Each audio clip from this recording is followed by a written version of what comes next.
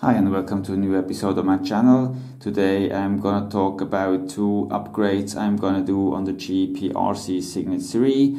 One is the VTX, the original VTX goes up to 200 milliwatts and I'm gonna install the Tank Ultimate Mini from Rush FPV which goes up to 800 milliwatts and the second upgrade will be the Tarsier V2 from Caddx, which is a camera which can record up to 4K HD video and at the same time you have a second camera which is your FPV camera.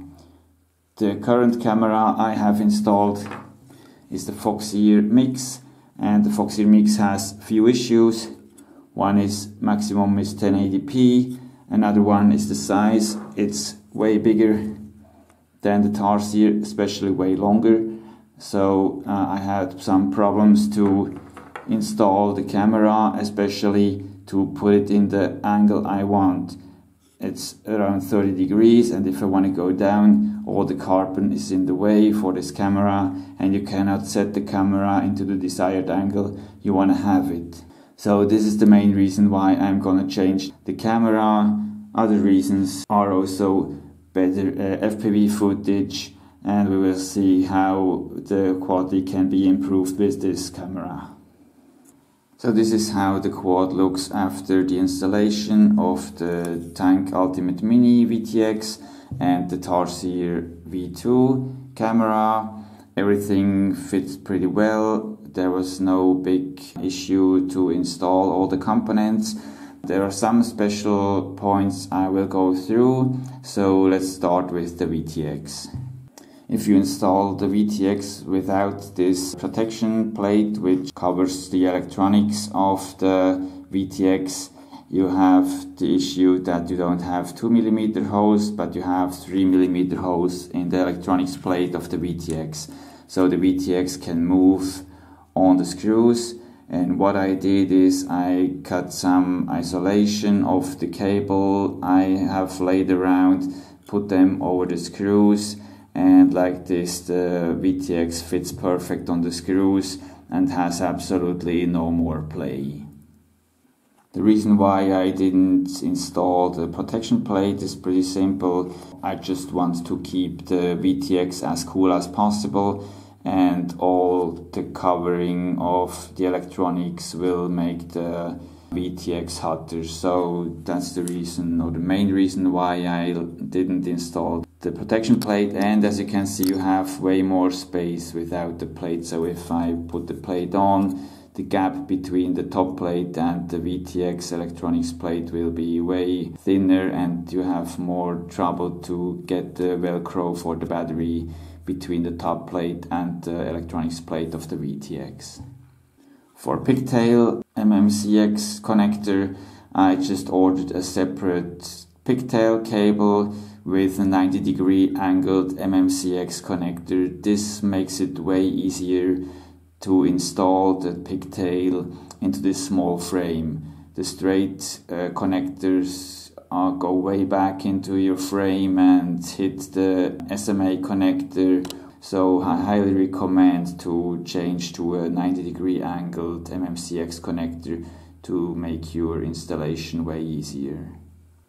The wiring was pretty simple because I don't use smart audio or anything else, so I just had to connect power directly from the LiPo and the signal which comes from the electronics plate of the Tarsier camera.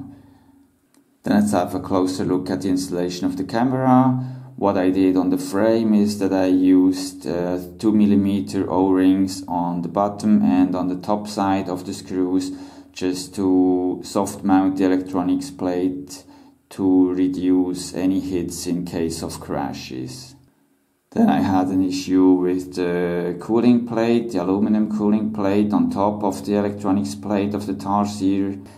The holes which are made for 2mm screws were just a little bit too thin, so I wasn't able to put the screws through this cooling plate. So I had to drill them out to 2 millimeters to make the fit smooth and like this the plate was easy to install. Then wiring was almost same like on the VTX, I just needed power. Power can't come directly from the battery because the Tarsier supports only 5 to 12 volts input power. So you have to take the power from your FC, which also has a 5 volt BEC which goes to the camera so you can take the power from your FC to feed your Tarsier. The FPV signal goes back from the Tarsier camera to the FC board and up to the original VTX. But when you use another VTX, you cannot use the connector between the FC and the VTX. So your signal wire, your FPV signal wire from the Tarsier camera has to go directly to your VTX. So you have to take out the video signal pin out of the connector on the FC and take your cable from the Tarsier directly to your VTX. To make the whole installation a bit cleaner, I drilled up all the cables just to have not flying around cables so the cables are more stable in their position and the build just looks a bit cleaner. And if you have a look at the installation of the camera itself, you can see that there is much more space with this camera in comparison to the Foxeer Mix I used before. So you can easily change the angle to the desired angle you have if you use the stock cable, the flat ribbon cable which is included, you just have to set at least to 25 degrees or steeper to not stretch your cable. If you want to go with flatter angles, you just have to change from your 5 centimeter cable to the 7 centimeter cable which is also uh, included in the camera kit. But I fly at least 25 degrees so the installation with the stock cable which is already installed on the cam and on the board is okay like this. This is all about the installation of the Rush FPV Mini VTX and the Tarsier V2 camera. A test flight video will follow soon. So thanks for watching, happy flying, have a good time, bye bye.